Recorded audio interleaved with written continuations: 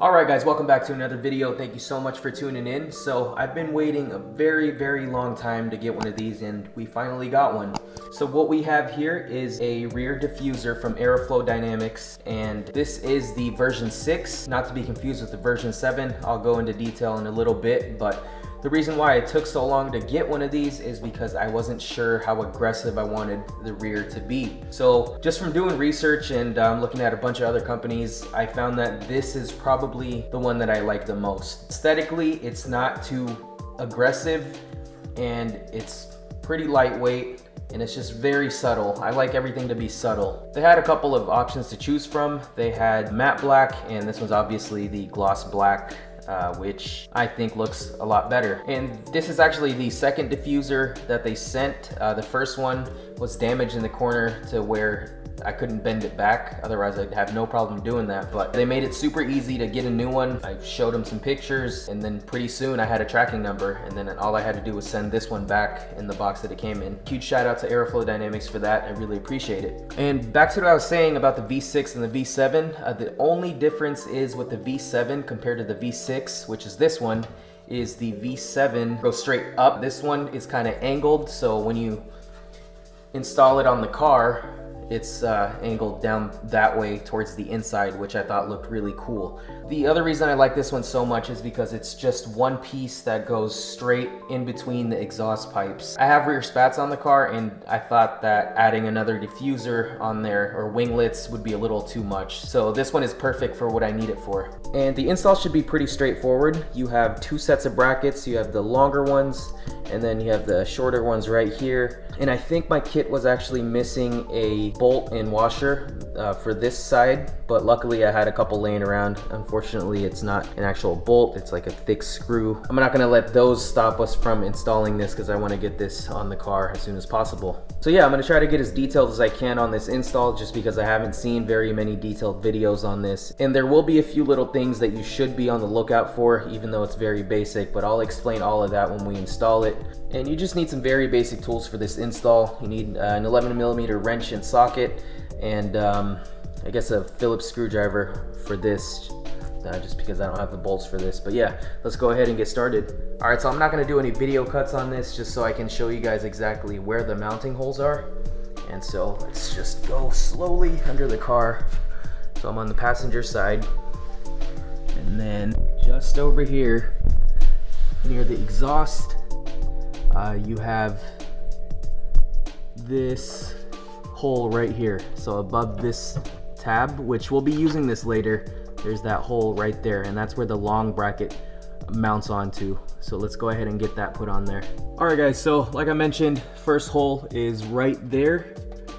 And what you wanna do is you take your bracket and if you ever get confused on which side goes where, just remember that the bracket is supposed to be facing towards the front of the car. And also the side that goes on this is the non-threaded side. So this side is threaded. This is where the actual diffuser mounts into, but for the top, it's just a, a hole right there and you can slip this through, straight through actually. And then this is the order of it. You have your bolt and then you have that little washer that compresses. I can't remember the name of it right now. And then the bigger washer, just like that.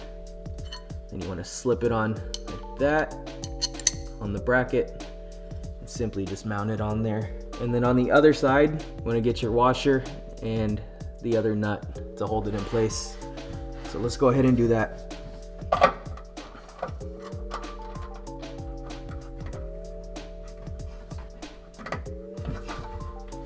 And then you just want to make sure it's as leveled as possible before you tighten it down. And again, I'm using an 11 millimeter socket.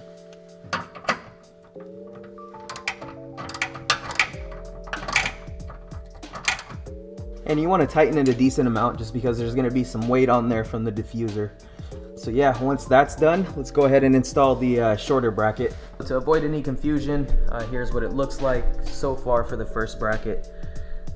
There we go It's facing towards the front of the car. And then this is how I mounted it. You can see right there is the nut on this side. Yeah, super easy. So move on to the next step. All right, so you wanna start off by removing this push clip right here.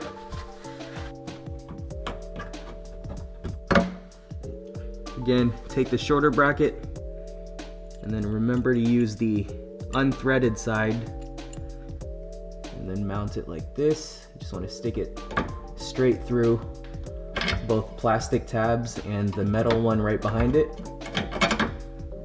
Then you get your washer and the other nut and simply secure it from the other side. All right, then you just want to tighten that down.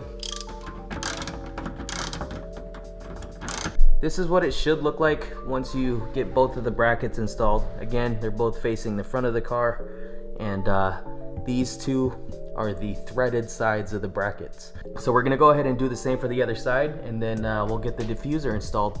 So now that I got all four brackets secured and lined up, it is now time to install the actual diffuser.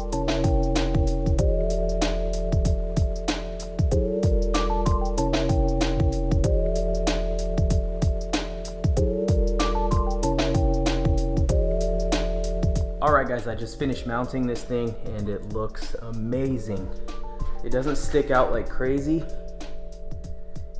and it's just nice and subtle. And here's what I was talking about with the spats. I just thought it would have looked weird if I added some winglets right here, especially because these are matte and that one's gloss. So I didn't want to do too much on the sides. That's why I just kept it at the middle like this.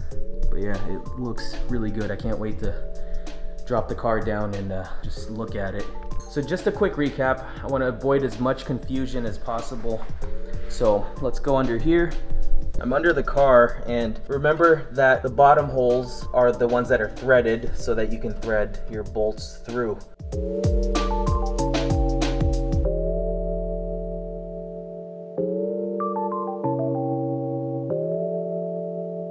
It's literally one, two, three, four bolts holding in the rear diffuser and it looks really good. And it's pretty secure on there. It wobbles a little bit, but uh, not too much to where it's obvious. But yeah, let's go ahead and drop the car down and then let's look at this thing outside.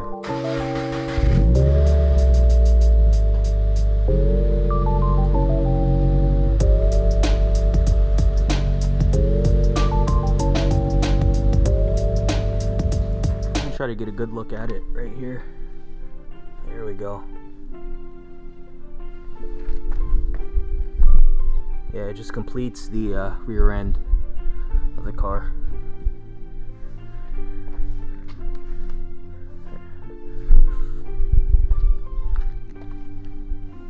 Nice.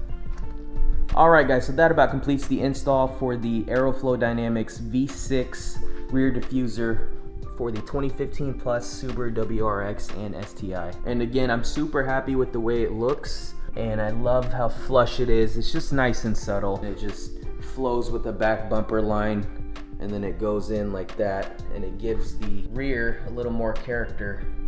But yeah, let me know what you guys think should be next on the car. We already have the full lip kit, the front lips, side skirts, and spats. That's what a full lip kit is.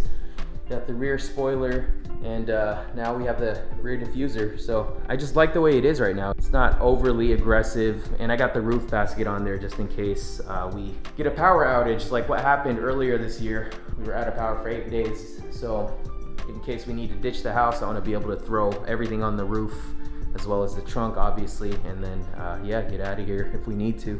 But yeah, I'm gonna go ahead and close out this video. Let me know if you guys have any questions on the diffuser. Like I said, this is a super easy install, so you shouldn't have a hard time installing it at all. Thank you guys for always supporting the channel. Check out my other videos, subscribe to the channel, like the video. Again, I really, really appreciate it, you guys. That's about it for today. Thank you so much for watching, and I'll see you guys in the next one.